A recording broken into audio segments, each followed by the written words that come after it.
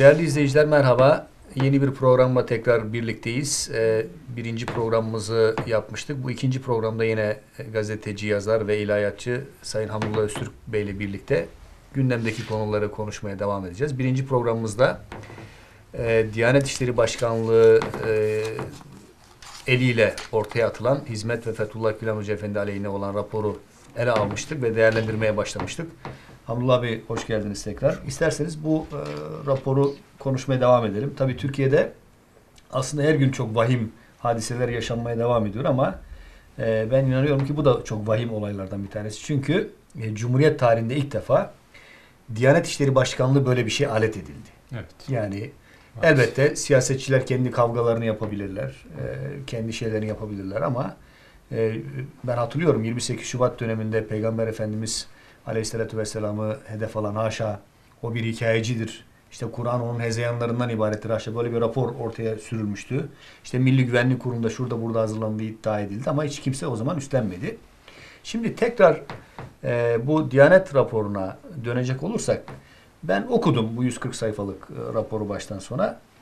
E, şunu söylüyor, söylemek istiyor. Aslında pro, birinci programda da e, sizinle programı açarken ifade etmeye çalıştım. Saraydaki şahsın birkaç yıldır yaptığı propagandanın yani Hoca Efendi'ye yönelik sahte peygamber haşa, sahte alim, alim müsveddesi bunun altını doldurmaya matuf. Hı hı. Neler var? İşte Fethullah Gülen öyle bir zattır ki cami kürsüsünde Allah'la görüştüğünü iddia etmektedir. Hazreti Peygamber'den talimatlar aldığını, her gün onunla görüştüğünü iddia etmektedir. Seçilmiş bir kişi olduğunu iddia etmektedir. Gayiplerden haberler vererek. Ee, şimdi nasıl şeyse bu e, en önemli Hoca Efendi'nin vaaz serisi olan Sonsuz Nur 63 hafta zannediyorum sürdü o Valide Sultan Camii'de üniversite gençliğimizde bizim gittiğimiz ve dinlediğimiz o vaazlar. O vaazların hiçbirinde biz böyle bir şey görmedik. Ve bu Sonsuz Nur biliyorsunuz 36 dile çevrildi. Hoca Efendi'nin kitapları 100 dile çevrildi. Yani yüz binlerce. Tabii. En son e, Ezer Üniversitesi'nde Hoca Efendi'nin görüşleri üzerine bir doktora tezi kabul edildi. Şimdi şeye gelirsek e, Hoca Efendi ve Hoca Efendi yönelik bu rapordaki suçlamalara dediğim gibi cami kürsüsünde Allah'la görüşmek, Hazreti Peygamber'le görüşmek, ondan talimatlar almak, gayipten haberler vermek, seçilmiş bir kişi olduğunu iddia ediyormuş Hoca Efendi. Diğer taraftan bence ikinci bölüm olarak da yani olaya bir uluslararası mahiyet kazandırmak açısından Hoca Efendi e, İslam'ı göya yozlaştırarak ümmet bilincini ortadan kaldırmaya matuf İslamiyeti Hristiyanlık ve Yahudilikle birleştirmek hatta Zerdüşlükten de şeyler alarak hatta eski Yunan'dan filan işte Herkül mesela Herkül'e öyle bir şey ifade ediyorlar. E, dolayısıyla yeni bir teoloji üretmek e, peşindeymiş. Yani İslamiyet'i diğer dinlerle birleştirme peşindeymiş. Böylece İslamiyet'i etkisizleştirmek ve ümmet bilincini ortadan kaldırmaya matuf çalışmalar yap, yap, yapmak istiyormuş. Bunun en önemli delillerinden biri de e, Vatikan'la 1998 senesinde Papa ile görüşmesiymiş. Şimdi siz raporun nasıl döküldüğünü anlattınız zannediyorum bu bölümlere de cevap vereceksiniz. Hemen benim aklıma Vatikan'la ilgili şöyle bir mesele geldi. Hoca Efendi Vatikan'da Papa ile görüştü. Sonra Papa Türkiye'ye geldi. Diyanet İşleri Başkanı ile görüştü ve o dinler arası diyalog şeyini Diyanet devraldı o zaman. Siz yakından biliyorsunuz. E o zaman yani bu ne periz bu ne lahana turşusu. Şimdi isterseniz e, bu ana hatlarıyla ben rapora baktığım zaman e, bunları gördüm. Yani tamamen siyasi bir propagandaya dini rapor kisvesi vermek suretiyle Türkiye'de geniş kitleleri etki altına almak dediğiniz gibi Hoca Efendi, Fethullah Gülen Hoca Efendi ve hizmeti itibarsızlaştırmaya matuf bir şey. İsterseniz e, cami kürsüsünde e, Allah'la görüşme meselesiyle başlayalım veya siz eğer başka bir dikkat çekeceğiniz bir şey varsa oradan başlayıp buraya geçebiliriz. Geçen programda da biraz hani üzerinde durmuştuk e, Faruk Bey. Bu rapor hiçbir ilmi kriteri kullanmıyor. Ehli sünnet vel cemaatin düsturlarına göre bir dini yapıyı gözden geçirmiyor. Hiçbir şekilde. Bu tamamen propaganda maksatlı hazırlanmış. İnsanların psikolojisini dikkate alıyor ve o psikolojiyi etkilemeye yönelik hazırlanmış bir rapor. Hedeflediği kitle de eğitim seviyesi nispeten düşük kitleler. Onun için bundan ne anlayacaklarını da yazmışlar. Yani madde madde bir kaynak verdikleri bölüm var. Bir de onun dışında yani şunu demek istiyor dedikleri bir bölüm var. Ve her şeyin altında ikişer üçer maddelik. Yani bundan şunu anlayacaksınız diyorlar. Yani insanlar bunu okumazsa hiç olmazsa o maddeleri görsünler. Hani neymiş? Bunu böyle bilsinler. İşte Twitter'da mı kullanacaklar, sokaklarda mı kullanacaklar, e, insanları ziyaret edip onlara karşı bir şey mi yapacaklar, orada kullansınlar diye hazırlanmış. Onun için bunun bir ilmi değeri yok. Sizin e, bahsettiğiniz kısma girecek olursak zaten rapor onunla başlıyor ve e, öyle kürsüde Allah'la görüşmek filan değil. Haşa dedikleri şey kürsüde Allah var. Kürsüde peygamber var. Böyle bir şey diyorlar. Şimdi isterseniz şuradan hemen o kısmı ne demişler bir bakalım. Gülen'in konuştuğu kürsüde Allah vardır. Maddelendirdikleri yeri söylüyorum şimdi. Buradan bunu anlayacaksınız diye e, aldıkları kısmı söylüyorum. Bir, Gülen'in konuştuğu kürsüde Allah var. Haşa. Bakın haşa kaydını bile koymuyor. Yani direkt bunu söylüyor. Peygamber Efendimiz Allah'ın gözünün içine bakmaktadır. Hazreti Peygamber Gülen'in hitap ettiği cemaatin arasındadır. Şimdi bunu şöyle bir metin almış. Diyor ki mümin mabede adımını attığı andan itibaren orada gerçekten kime tazim yapılacak onun mehabet ve mehafeti altına girer. O meclis öyle bir meclistir ki o meclisin kürsüsünde artık bakan, gören, duyan, her şeyimize nigahban olan, haberdar olan Allah vardır. Ve eğer saflarınızın arasında dolaşan biri varsa, yukarıdan ona müsaade edilmişse, o da kendisiyle alakalı her toplantıda bulunup, toplantıyı şereflendirmek için bulunan gönüllerimizin sultanı, gönüllerinizin sultanı, insanlığın efendisi Hazreti Muhammed Mustafa vardır. Ve sizi böyle bir mülahaza altında camide hatırlatacağım, çağıracağım, davet edeceğim gibi ukalaca şeylerden kaçınarak, sizi böyle bir tablo karşısında camide bulunduğunuz şeyleri takdire davet ediyorum. Kalpleriniz benim anlayış ve idrakımın çok üstünde bunu takdir ediyordur zannediyorum. Onun için hoca da girse, devlet başkanı da girse, başbakan da girse, burada bizim kalplerimize sani- saniyede 70 defa nazar eden Allah var Celle Celaluhu ve burada onun gözünün içine bakan, onun cemali ba kemalini müşahede eden Hz. Muhammed Mustafa vardır. Çünkü cemaat onun cemaatidir. Çünkü sultan odur. Çünkü sik- sikkeyi basan odur. Tuğra'yı kesen odur. Şimdi bu bir alıntı. Bu alıntı hangi konuda geçiyor? Öncesinde ne var? Sonrasında ne var? Hani Bektaşi usulü namaza yaklaşmayın diyor Kur'an ben ondan namaz kılmıyorum demiş ya. E arkasını oku demişler. Hafız değilim demiş. Çünkü arkasında sarhoşken namaza yaklaşmayın. Bilinen hikaye. Aynısı yapılıyor. Aynı Bektaşi hikayesi yapılıyor. Şimdi burada konu nedir? Konu şu. Hoca efendi burada diyor ki camide ayetler okunuyor. Vaaz esnasında Allah'ın kelamı söyleniyor. Peygamber Efendimizin hadis-i şerifleri söyleniyor. Kürsüde bir, biri bunu dile getiriyor. İster hoca efendi olsun, ister, ister başka vaizler olsun. Ayet okuyor, hadis okuyor. Ayet kimin kelamı? Allah'ın. Hadis-i şerifler kimin kelamı? Hazreti Peygamber'in. Şimdi bunun devamında şöyle diyor. Camide nasıl ki diyor. Kalabalık olduğu zaman imamın tekbirleri duyulmadığında safların arasından birisi Allahu Ekber diyerek onu arka saflara duyurur ya diyor. Çeşitli devirlerde gelmiş size vaaz eden insanlar o imamın tekbirlerini arka safa ulaştıran aradaki ulak gibidir. Asıl tekbir imamındır. Şimdi din Allah'ındır. Ayet Allah'ın kelamıdır. Bu dini insanlara anlatsın diye seçilmiş, özel yaratılmış, özel donanımlı insan Hazreti Peygamber'dir. İmam dediğin zaman akla gelecek odur. İnsan dediğin zaman kamil manada akla gelecek yine odur. Kur'an-ı Kerim'in ilk muhatabı odur. Ve onu ilk defa hayatında yaşayıp insanlara en kamil manada anlatan odur. Biz aradaki imamın sesini arka saflara duyuranlar gibiyiz diyor yani. Bunu bazen de hoparlör yapar biliyorsunuz. Siz kürsüdekinin ne dediğine takılmayın. Kürsüdeki yanlış söyleyebilir, sesini biraz böyle yükseltip can sıkıcı bir tonda söyleyebilir. Ne olursa olsun siz camiye Allah'ın kelamını dinlemeye gelmişsiniz. Hatibin ağzından çıkan Allah'ın kelamıdır. Peygamberin kelamıdır.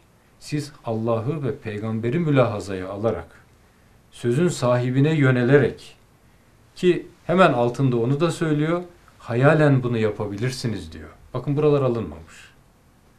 Aradaki bir bölüm alınıyor ama bu neye binaen söyleniyor? O taraflar alınmıyor. Ondan sonra deniliyor ki Gülen dedi ki kürsüde Allah var haşa kendisini ilah olarak kabul ettirmeye Yani çalışıyor. Profesör Çetin Özek'in o zaman Nuhmeti Yükseliş'in söylediği bu mantıkla kanun maddelerinden bile suç ve ceza üretmek mümkündür. Şey burada da aynen geçerli galiba. Daha ilerisi. Evet. Çok daha ilerisi. Şimdi bir de garip bir şey var. O camiye gelen cemaat böyle kapalı bir şeyden mesajı alıyor. Hoca Efendi'yi öyle ulu bir kişi olarak tanıyor ve kabulleniyor. Ama aradan bakın kaç yıl geçmiş. Bir 40 yıl geçmiş neredeyse. 40 yılda Türkiye'nin eğitim seviyesi ne kadar yükselmiş. Şimdi bu Diyanet e, imzalı rapor muhataplarını bu seviyenin çok altında gördüğü için anlattığıyla yetinmiyor bir de maddelendiriyor. Yani şunu demek istiyor diye. Şimdi bir tarafta böyle demek ki imalardan ne manalar çıkartan bir cemaat var. Bir taraftan açık söylenen sözü anlamayan, yazılı kelamı anlamayan bir kitle mi var? Aslında böyle bir şey yok. İnsanımızın seviyesi belli. Herkes ne söylüyorsanız onu büyük oranda söylediğiniz gibi anlıyor. Öyle olmasaydı zaten bugüne kadar Hoca Efendi'nin arkasından böyle büyüyerek gelişen bir cemaat oluşmaz. Onu tekfir edenler çoğalırdı. Halbuki bugüne kadar hiç böyle bir şey olmadı. Hiç kimse kalkıp böyle bir şey demedi. İlk defa bu deneniyor. Denenecek ve hiçbir şey çıkmayacak. Bunu hepimiz biliyoruz. Ve bu rapor kara bir leke olarak devlet arşivlerine yani devlet kurumunun imzasıyla girdi. Halkın hafızasına da girdi. Şimdi bakın böyle üstünü altını nasıl olsa görmezler. Ya bunlar doğru mu söylüyor diye gidip bakmazlar. incelemezler. Yani halkı çok hafife alarak, insanları çok hafife alarak ki bu hakaret yerine geçer. Böyle bir hakaret raporu yayınlıyorlar. Şimdi yarın bu rüzgar dağılıp gittiği zaman insanlar dönüp tekrar şuna baktığı zaman bunu hazırlayanlar, ismiyle yayınlandığı kurumda görev yapıp da bugün sesini çıkartmayanlar Faruk Bey yarın herhalde insan içine çıkamayacaklar. Abdullah Bey, Ahmet Altan Silivri'de e, savunmasını yaparken şöyle bir ifade kullandı. Dedi ki ya bana bu kadar iftirayı atan bu dönemin bu savcıları kim bilir başka insanlara ne iftiralar atıyorlar. O yüzden dedi ki bu bir hukuk mezbahanesidir şu anda Evet. Türkiye'de yaşanan. Şimdi gerçekten e, bu şekilde ulu orta pervasız Fethullah Gülen Hoca Efendi'ye bu iftiraları atanlar e, Türkiye'de işte birkaç yıldır icra edilen sistem bu. Ve yani diğer insanları düşünün siz şu anda mahkemelerde yargılanan e, insanlara atılan cürümler e, ve hepsi de işte bu mantıkla bu argümanlar kullanılarak. Şimdi isterseniz e, bu aslında Profesör Suat Yıldırım'ın e, şeyini siz de e, galiba e, şey yapıyorsunuz. Yani raporun şeyi bu. Yani en başta işte haşa kürsüde Allah var şey bu kadar dökülen bir raporun başka taraflarına girmeye gerek var mı? Ama biraz isterseniz Tabii. girelim biraz şey yapalım. Ee, bu konulardan bir tanesi de e, Hamdullah Bey Hoca Efendi göğe kendini öyle anlatıyormuş ki kürsüde. Yani öyle bir şey yapıyormuş ki işte Peygamber Efendimiz'i rüyasında görmüş işte veya başkaları görmüş Hoca Efendi'den haber getiriyormuş ve kendini seçilmiş bir kişi olarak e, göya e, insanlara şey yapıyormuş. E, ben işte 30 yıldır ben de bu vaazları dinleyen bir insanım yani siz daha fazla belki. E, var mı böyle bir şey? Yani e, herhangi bir yerde ki bugün herhalde İslam aleminde bir baksak tevazu, kendini yok sayma, kendini sıfırlama. Ben mesela kendini sıfırlama meselesini Hoca Efendi'den duydum. Bugüne kadar herhangi bir e, Türkiye'de günümüzün yaşayan hani ilahiyatçılarından falan ben böyle bir şey duymadım. Profesör Hayrettin Karaman'dan ben bir gün böyle bir şey duymadım. Her gün hilafet yazıları yazan, saraydaki şahs halife ilan eden. Şimdi Evet. olaya dini açıdan yaklaşalım. Dini açıdan yaklaşalım. Önce bir iki şeyin altını çizelim. Bir, Hoca Efendi insanların gönlüne girmiş, sevilmiş biri midir? Evet. Hoca Efendi çok büyük bir kitlenin gönlüne girmiş, onlar tarafından sevilmiş ve onun bir sözüyle okyanuslar aşıp yurdunu yuvasını terk edip hicret etmiş ciddi bir seveni var. Bu, bu bir hakikat. Bu kadar baskı, yıldırma, zulüm, taciz, tecavüz bakın onu hala yıkamıyorlar. Şimdi böyle bir hakikat var. Bir de bundan ciddi manada rahatsız olmalar var. Bu ciddi manada rahatsız olmalar gene birinci programda dediğimiz gibi 2010 yılında başlayan devleti yeniden kurma hani inşa dönemine giriyoruz. Bazı paydaşlarımız bizimle beraber olmayacaklar. İstanbul İl Başkanı Aziz Babuşçu'nun ağzından bu cümleler döküldü. Dönemin başbakanı da çıraklık dönemi filan e, ayırdı. En son ustalık dönemine girdiğini söylediği yıl yine o yıllardı. Yani ana Cumhurbaşkanlığı halkın seçeceği belli olduktan sonra referandumdan sonraki bunlar adım adım ilerleyen gelişmeler oldu. Şimdi burada niye buraya sık sık geliyoruz? Şu anda şundan dolayı geliyoruz.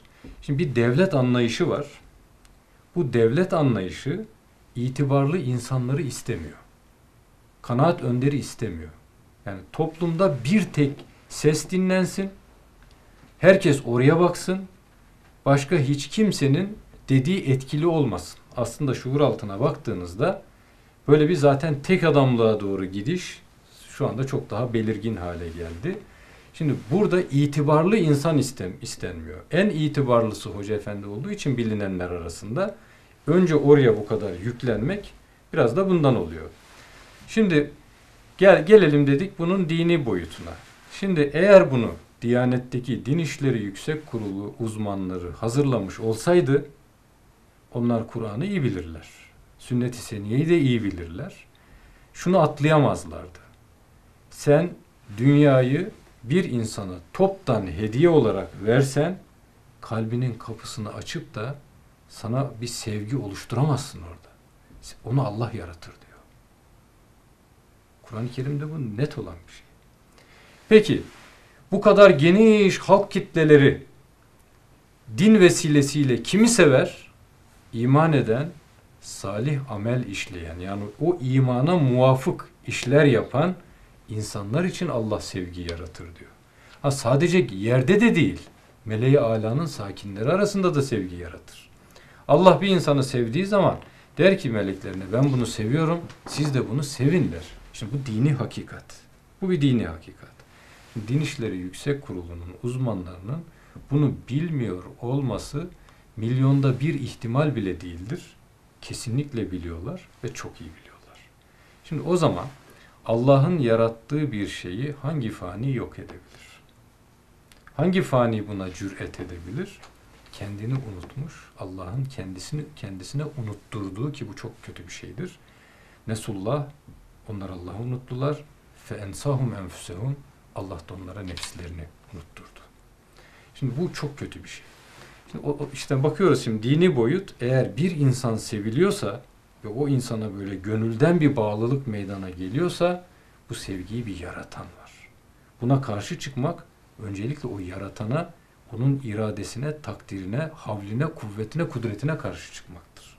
Böyle bir karşı çıkıştan zaferle çıkabilecek hiçbir fani yoktur. Olamaz böyle bir şey. İşin bir bu tarafı var. Bir kere bunun altını güzelce bir çizelim. İkincisi Bediüzzaman Hazretlerinin çok güzel bir e, benzetmesi var. Diyor ki yani bir serçe ne kadar şişerse şişsin uzun süre tavus gibi görünemez. Yani serçe nihayetinde ne kadar şişerse ne kadar hava basarsan bas genişleyebileceği bir hat vardır, bir sınır vardır. Ondan sonra infilak eder, patlar yani. Şimdi rüyalarla, şunlarla, bunlarla, yalanlarla, dolanlarla ki o rapor gibi işte sunulan şeyde geçen hani böyle şeyler olmazmış da yalan aslında söyleniyormuş yani böyle rüyalar böyle yakazılar olmazmış. Yalan söylenmiyormuş gibi anlatılıyor. Bir insan bu kadar sene bakın bir sene değil iki sene değil üç sene değil 1965'ten itibaren sayarsak 35 artı 17 45-52 sene eder.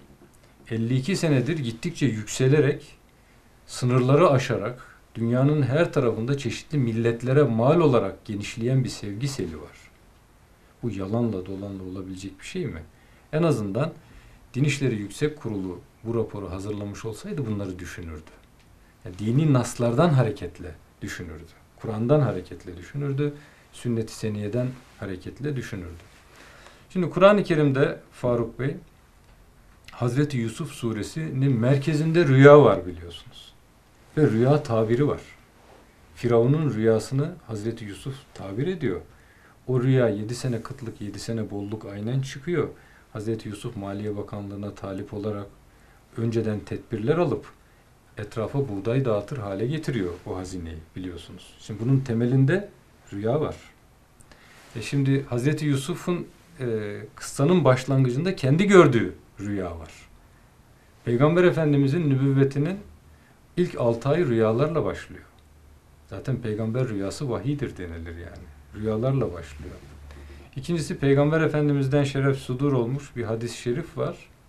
O hadis-i şerifte e, nübüvvetin 46 cüzünden bir cüz olarak rüyalar sayılıyor. Şimdi daha da enteresan bir şey var. Bu Sahih-i Buhari gibi Kur'an-ı Kerim'den sonra en sahih bizim dini kaynağımız olarak gösterilen Sahih-i Buhari gibi sağlam bir kitapta geçiyor. Diyor ki izak terabeti zaman yani zaman yaklaştığında orada elif lamlı olduğu için onu kıyamet yaklaştığı zaman ahir zamanda diye tercüme ediyorlar. O manayı veriyorlar. Bir de zamanın tekarübünü gece ile gündüzün e, uzaması kısalmasından hareket ederek e, baharda ve sonbaharda gece ve gündüzün eşit olduğu tarihler var ya o tarihleri de nazarı dikkate alıyorlar. Diyorlar ki tekarübü zaman yani gece ile gündüzün birbirine yaklaşıp yarı yarıya 24 saatin yarısı gece yarısı gündüz olduğu zaman da kastedilmiş olabilir bu tekarübü zamandan. Ama eliflamlı zaman bilinen bir zaman o eliflamlı zaman bu ahir zamandır diyorlar. Konumuzla bunun alakası şu. Diyor ki o zaman geldiğinde müminin rüyası neredeyse hiç yalancı çıkmayacak. Bakın rüyaya çok ciddi bir yer veriliyor. Ve Sahih Buhari'de ta, rüya tabiri bahsi bölüm var. Hadis kitaplarında bölüm var. Rüya ile ilgili bölümler var. Şimdi rüyanın bir hakikati var. Şimdi bu rüyanın hakikatini inkara gidemezsiniz. Siz tutup da şurada e, bir insanı karalayacağım diye dini hakikatleri inkara böyle bir şeyler yok olmaz da bunlar yalan söylüyorya giderseniz yani birini karalayayım derken kapkara olur geri gelirsiniz oradan. Kapkara olur geri gelirsiniz. Şimdi burada öyle şeyler var ki yani onların üzerinde durdukça daha e, açılacak ve ben sonuçta bu programın sonunda söyleyeceğim cümleyi şimdi söyleyeyim. Bu rapora en son cevap verecek grup biziz. Bizden önce tasavvuf gruplarının, ilahiyattaki tasavvuf hocalarının, mesela Diyanet İşleri Başkan Yardımcısıydı. Şimdi İstanbul müftüsü olan Hasan Kamil Yılmaz'ın cevap vermesi lazım bu rapora bizden önce. Neden? Çünkü te temessüller, rüyalar, yakazalar, keşifler, müşahedeler erbabı tasavvufun üstünde ısrarla durduğu çok ciddi bir hakikattir. Şimdi bu raporun hakikatle bir işi yok. Bu rapor muhayyel, nereye gideceği belli olmayan bir devlet tasarrufunun ürünü bu. Bunun daha nereye gideceğini bilmiyoruz biz. Yani geçen gün biri tarafından söylendi, bir şeyler oldu, yeni bir devlet kuruldu falan filan diye. Eski anayasa duruyor. Ortadan kalkmış bir şey yok. Yeni yerine konmuş bir anayasa yok. Ondan. Yıkılanı görüyoruz da yapılan bir şey gördüğümüz yok bu arada. Şimdi muhayyel bir devlet var ve bu devletin ürünü de bu rapor. Şimdi burada bakın bir hakikat endişesi yok. Rüya, keşif, müşahede dediğinizde öyle bir yere giriyorsunuz ki eşyanın hakikati nedir? Bu varlığın hakikati nedir? Şimdi siz sayısal bilgilere ulaşabilirsiniz. Bu bilimin işidir. Fiziki yapıların bilgisine ulaşabilirsiniz. Bunların içerisinde cari kanunların bilgisine ulaşabilirsiniz. Bunlar bilimin işidir.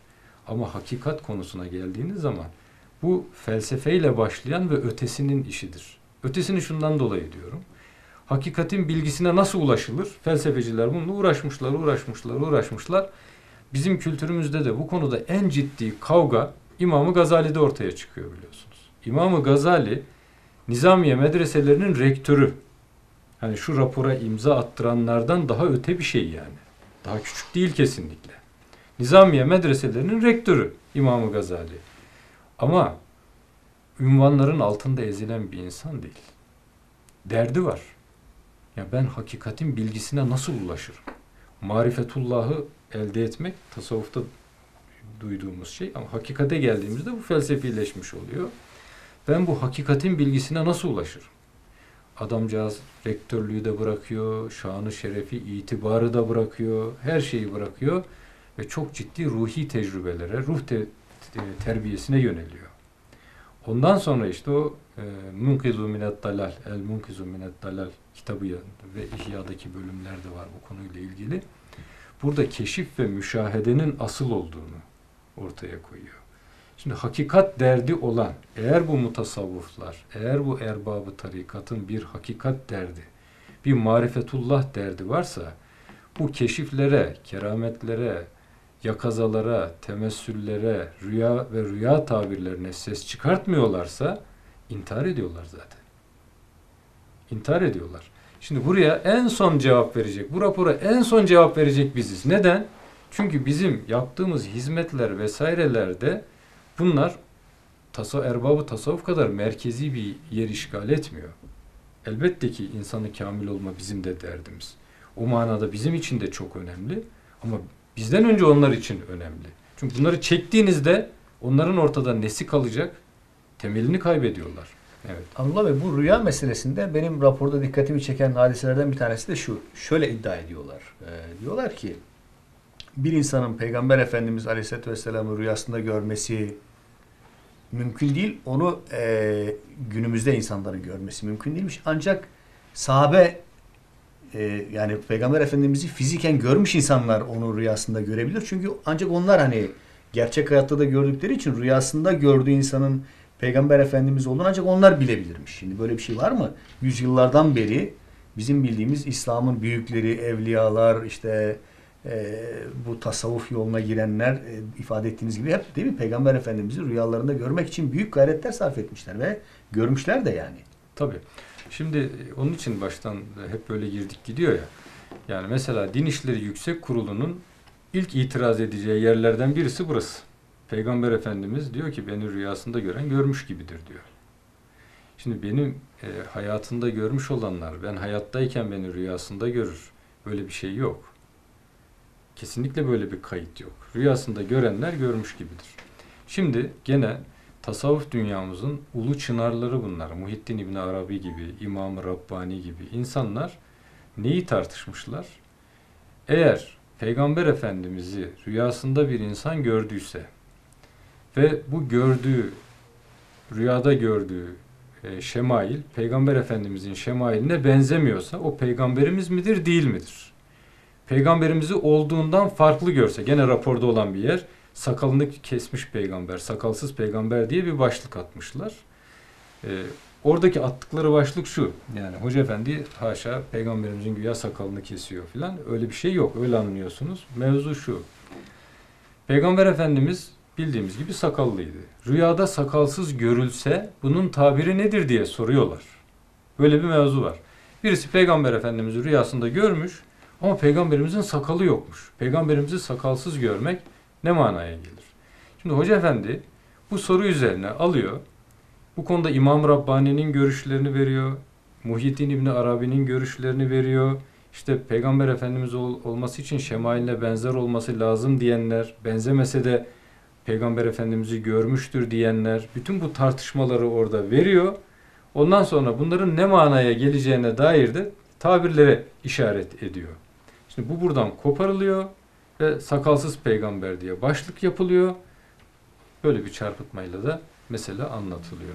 Halbuki işte orada Peygamber Efendimiz'i sadece rüyada görmek değil, evradu eskarını Peygamber Efendimiz'den aldığını söyleyenler var.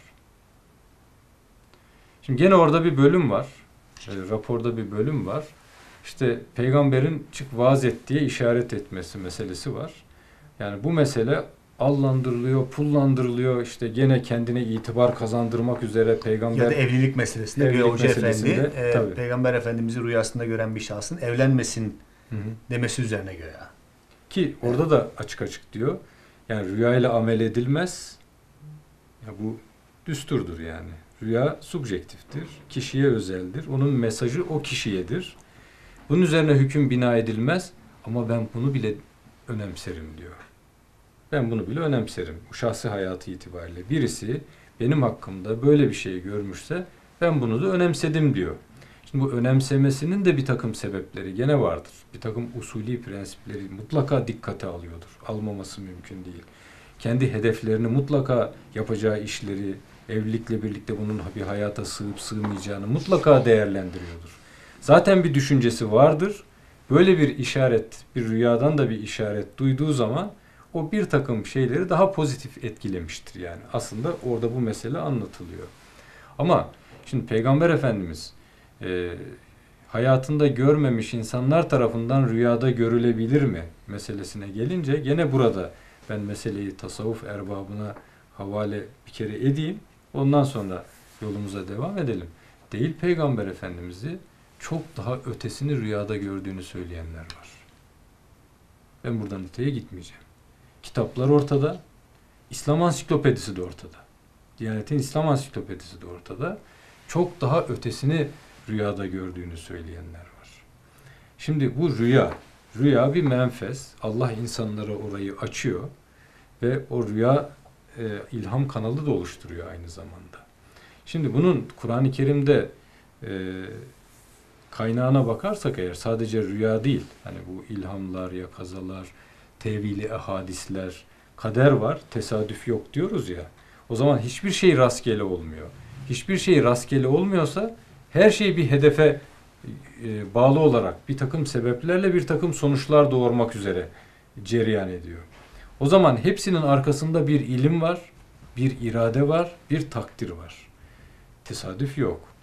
İşte bu ilim, irade ve takdiri görmeye çalışmak, ona göre o hadiselerin nereye gidebileceğini sezmeye çalışmak tevil hadis oluyor. Şimdi birisi kör gibi, sağır gibi, dilsiz gibi yaşarsa elbette ki bunları dikkate alamaz. Ama birisi de çok uyanık yaşamak, gaflet içinde değil, uyanıkça yaşamak, temkinli, dikkatli yaşamak ve Allahü Teala'nın bütün mesajlarını her hadise üzerinden, rüya üzerinden, normal yaşadığımız günlük hayatta meydana gelen olaylar üzerinden de verdiği mesajları kader var tesadüf yok ya verdiği mesajları almaya çalışıyorsa ene inde zanne abdi bi kulum beni nasıl zannediyorsa ona öyle muamele ederim teveccüh teveccüh doğurur. Bu da bakın tasavvufi kavramlardan. Teveccüh teveccüh doğurur. O insan mutlaka o mesajları alabilecek lütuflarla karşılaşır. Karşılaşmaması mümkün değildir. Allah hay ve bakidir.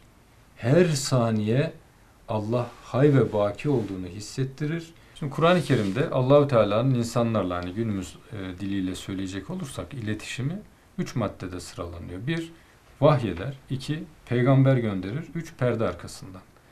E, şimdi bu perde arkası işte ha, tevil hadis perde, rüyalar perde. Bir takım olaylar arkasından insanlar bu mesajları almaya çalışırlar.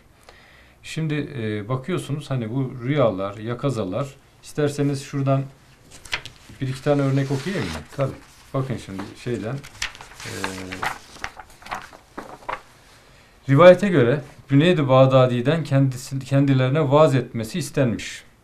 Ancak Cüneyt kendini bu konuda yeterli görmediğinden ki Cüneyd-i Bağdadi evliyaların çok büyüklerindendir.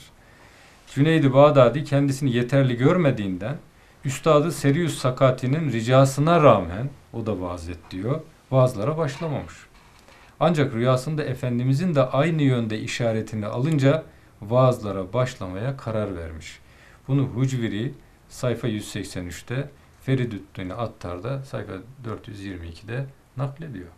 Şimdi desinler e, Cüneydi Bağdadi peygamberimizden talimat almış. Evet işte onun için diyorum bunu en son savunacak biziz. Erbabı tasavvuf buyursun. Bakın bu raporda öyle yerlere öyle darbeler vuruluyor ki ya bunun tek muhatabı biz değiliz. Bizden önce bunun muhatapları var. Şimdi bakın e, Kuşeyri Ebu Bekir Muhammed bin Ali el Kettani'ye Ya Hayyu Ya Kayyum La ilahe illa ente zikrini rüyasında Efendimizin öğrettiğini söylüyor. Bunu Hoca Efendi kendisi söylemiyor ki.